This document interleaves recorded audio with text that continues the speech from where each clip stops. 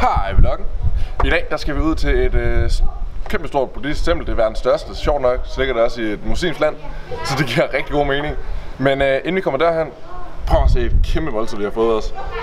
Vi tropper op, og så lige pludselig så kommer der bare alt der mad. Vi har fået, nu skal jeg se her, der er noget grøntsag. Vi ved ikke helt, hvad det er, men det ser rigtig lækkert ud. Så er der noget kokossuppe med noget kylling, I guess. Der er noget omelet, noget der er lavet af soja, det der ligger hernede, og så er der mega stærk sovs. Jeg prøvede lige at lugte til den, det sved rigtig meget i næsen. Så har vi øh, mango og papaya, som The Ice Cold Man har lavet til os. Han er iskold, især om senere. Så har vi noget nudel og noget god te. Det er sgu da ris, det der, Peter. Det er ris. Det er mig, der er for træt til at fatte noget. Men glæder jeg til, hvad der sker senere. Det bliver iskoldt.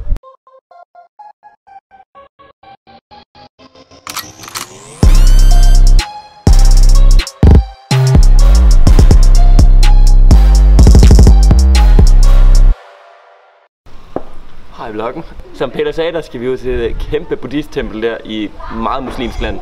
Men i dag der bliver videoen forholdsvis kort.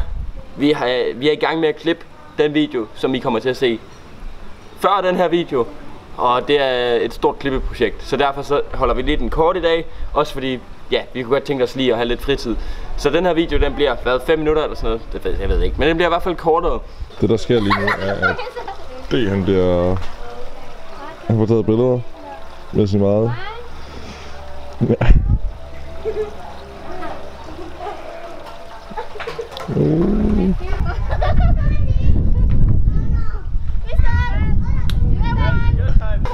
Ja, altså der har seriøst lige været kø til at få selfies med os.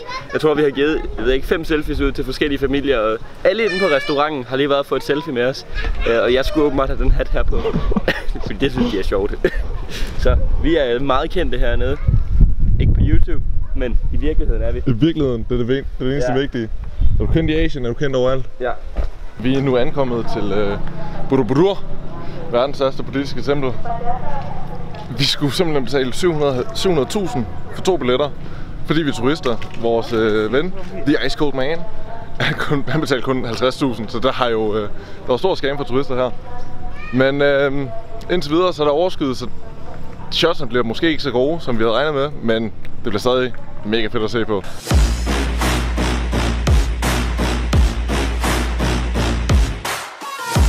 Hold, hold, hold, hold, hold. hold. Jeg ved godt, det var alt for hårdt til et buddhistisk tempel, så I får den lige i en lidt mere gay version. Værsgo.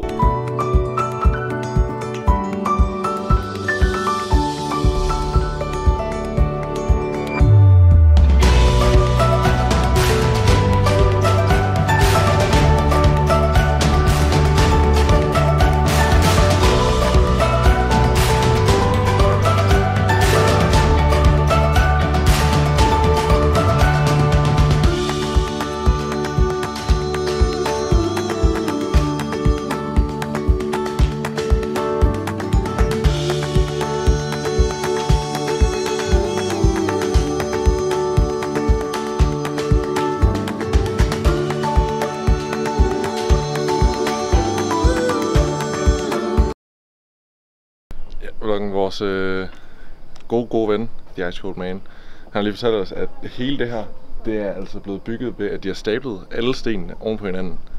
Det er jo kæmpe stort arbejde Der er ikke brugt noget cement. overhovedet. Det er faktisk sjovt, fordi mange af de statuer, der er her, deres hoved er hugget af.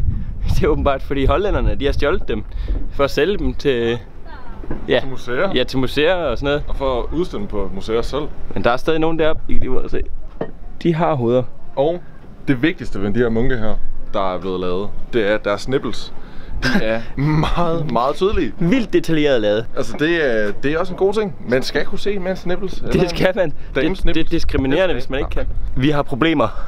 Vi er blevet væk fra The Ice Cold Man. Det er Ice. Cold, det er Ice Cold Man er væk. Er Og, og det er ham, der, øh, det er ham, der kan vejen. Så det er lidt noget Ja. lort. Vi må håbe, vi finder ham snart. Ja, fordi ellers vi- er vi fucked. Krydser fingre for det. Cold man! Ice cold man, where are you? Ice cold! Forresten så hørte vi elefanter. Det lød som om, de blev tortureret et eller andet sted. Det lød ret nøjeren. 100, 100 pil blev. Her i Indonesien, der er de ret ligeglade med dyr.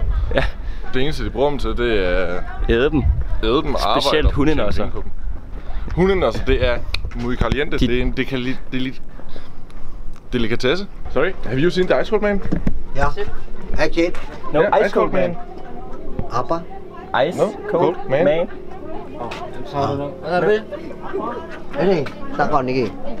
Exit here. Exit here. Okay, perfect. Oh ya ya. Good on. That's safe. vi skulle lige til at sende en til os, der rent faktisk kunne engelsk. Vi, Vi fandt ham. vi har fundet the Ice Cold Man. He's the guy who has been helping us uh, finding this place and also getting mangoes and papaya. And he's he's really nice. yeah, ice cold. Ice cold. You are welcome.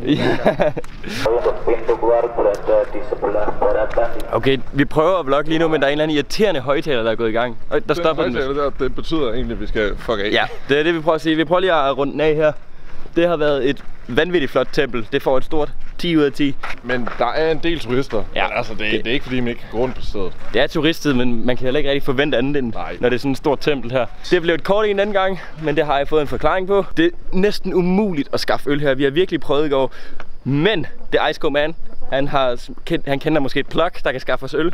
Så han, øh, The Ice Cold Man, han har plug Ja. til alting. Han har Ja. skaffet os scooter, han skaffer os mangoer, han skaffer os papaya, nu skaffer han os altså øl. Ja, og øl er det sværeste at få ned. Nå, men tak fordi I så med. Vi slutter videoen af her. Jeg håber, I kunne lide den. Så Husk alle sammen, like, del, subscribe!